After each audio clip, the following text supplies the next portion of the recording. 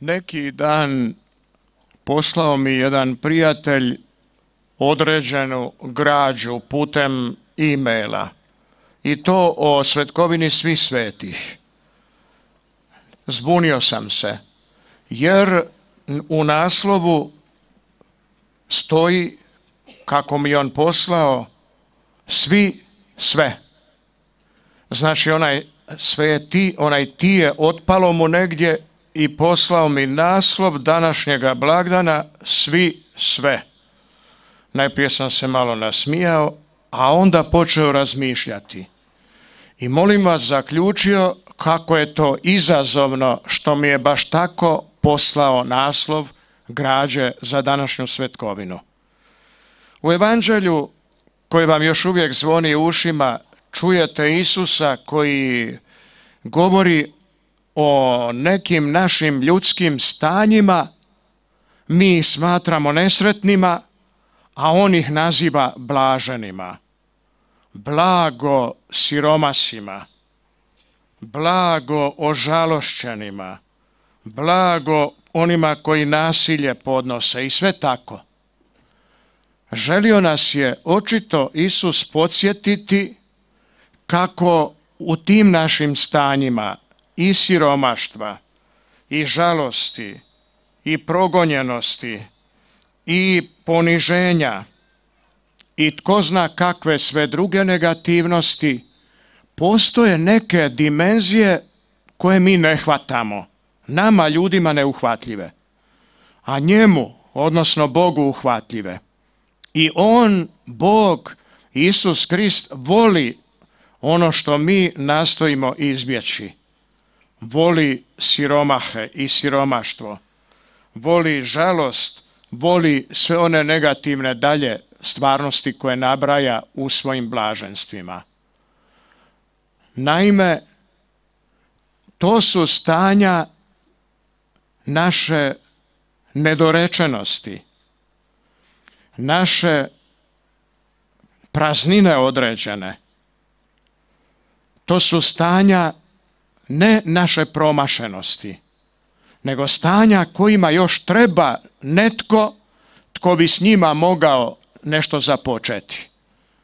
Vi ste, braćo i sestre, svjedoci kako s onima kojima se nanosi nepravda, sa siromasima, žalosnima i svima drugima, ne zna ni politika, ni moć, e, vojna, ni neka druga što bi započeli. Jer oni takvi ljudi u tim stanjima negativnosti smatrani su jednostavno nemoćnim ljudima. S njima se ne računa ozbiljnije. A on, Isus Krist, nastupa baš s takvima. Bog pristupa takvima računajući s njima. U čemu je njihovo značenje tih siromašnih, žalosnih, progonjenih, pritisnuti drugim negativnostima.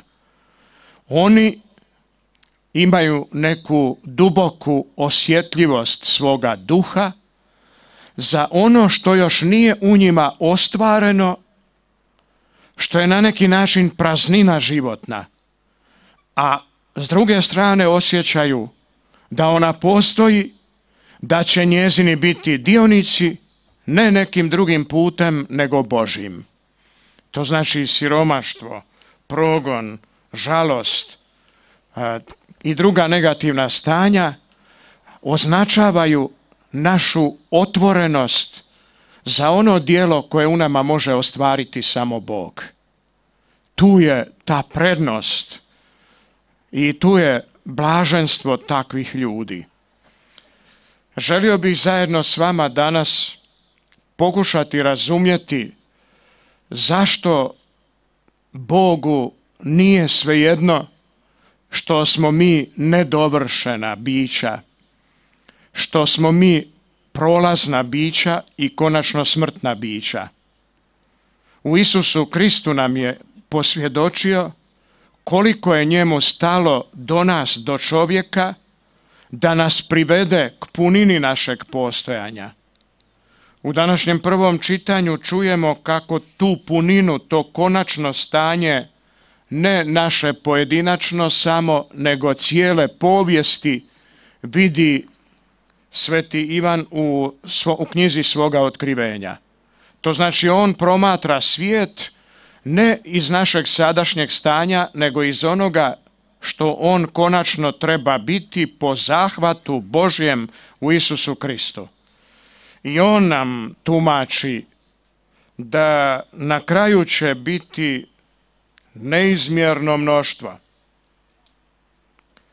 Govori o neizbrojivom mnoštvu koje je dospjelo u stanje najveće moguće blizine Bogu samome.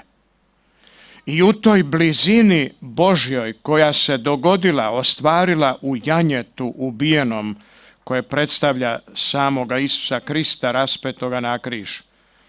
U njemu, dakle, u Isusu Kristu premošćena je sva ona praznina koja postoji i u siromaštvu, i u nepravdama, i u progonima, a najveća postojeća praznina je smrt. Nijedno to stanje nije Bog prepustio nama da u njemu nestanemo, da u njem skončamo, nego Isusu Kristu svojim zahvatom ljubavi ušao u ta naša stanja i ispunio ih da on, ona više nisu naša nemoć, nisu praznina, nego su ona stanja Božje blizine baš po njegovoj ljubavi koja je utisnuta u njih. Stoga nam siromasi, progonjeni, e, oni na kojima je e, izvršena tko zna kakva nepravda i nasilje, dosivaju baš to u svijest. Da, to jesu stanja naša ljudska, neispunjena, naše neostvarenosti, ali nisu stanja beznadna, nego u njima se treba ostvariti ono što je Bog svojim zahvatom poduzeo u Isusu Kristu, u njegovoj križu, u njegovu križu, u njegovoj ljubavi, koja je išla do kraja, do usmrt. I sad pitanje, vraćam se početku. Svi sve. Mi osjećamo kad god se susretnemo sa siromaštvom i bilo kojom drugom životnom prikraćenošću, a osobito u smrti, da se u nama nije ostvarilo sve za čim mi čeznemo. Mi ne čeznemo za malo, nego u nas je, u naše čežnje, u dubinu našeg bića upisano, upisana otvorenost i čežnja za sve. I ako se u nama ne dogodi Božje sve, ostadoše neke naše praznine neispunjene i neostvarene, i mi bića na neki način promašena i besmislena. Ne želi Bog takva bića. Zato se zauzao Isusu Kristu da bi mogao svoje sve ostvariti u nama. Sveci vam nisu neki ljudi vlastitih napora, vlastitih uspjeha, nego ljudi koji su u tim ljudskim našim slabostima, nedorečenostima, u prolaznosti, u prazninama, osobito u onoj praznini koju zovemo smrt, sveci su otvarali prostore za Božju prisutnost, za zahvat one Božje ljubavi moćnije od smrti s Isusova križa. I nisu ostali neostvarena bića, nego u njima Božja sve, svemoćna ljubav, ostvarila ono što ne može ljudska nemoć. Zato kad ih gledamo, u njima vidimo Boži naum o nama, ali u njima prepoznajemo također i ono na što smo mi pozvani i što se u nama može ostvariti ako povjerujemo Bogu i njegovu zahvatu Isu Kristu i omogućimo da On u nama ostvari svoje. Sveci su svjedoci Kristove moćne ljubavi s križa koja u nama sve razdaljine između nas i života popunjava, dokida i sjedinjuje nas tako duboko s Bogom da mi postajemo dionici njegova onoga božanskoga sve života. Tu je izazov. Hoće li Božje sve doprijeti do moga malo? Hoće li Božje sve doprijeti do moje one praznine koja se zove smrt ili ću ja ostati neostvareno biće? Danas smo se okupili na groblju podsjetiti se da je u Isusu Kristu najveća šansa, Božja šansa otvorena i ponuđena za svakoga, nitko nije iz nje isključen. I želimo moliti nad grobovima naših pokojnih, da ono što je po našim nekim računima razdaljina između nas i njih, daljina njihova od života, da bude premošćeno Isusovom prisutnošću i u njihovim umiranjima. Jer Isusova prisutnost, prisutnost njegove ljubavi moćnija od smrti, jest velika moć i za sve one koji su preminuli, koji su odložili prolaznost i koji trebaju baš to Božju svemoćnu ljubav, sve njegovo, da bude u njima ostvareno i oni postanu dionici one punine života za koju su stvoreni i na koju su pozvani. To su Boži računi, Boži naumi s nama. Naši naumi su kratkoročni, Boži dugoročni, dugoročni za vječnost. Idemo se obnoviti u vjeri svojoj, koja prepoznaje baš te Božje naume o nama, idemo se obnoviti u vjeri da je Isus Krist moćan i u nama, svakom pojedinome i u našim preminulima, ostvariti ono što može samo Božja svemoćna ljubav od uvijek, pa da u nama bude život sve prisutan zauvijek. Sve što Bog jest u punini svoga života, da unese u našu prolaznost i u našu malenost i mi s njime budemo pobjednici života.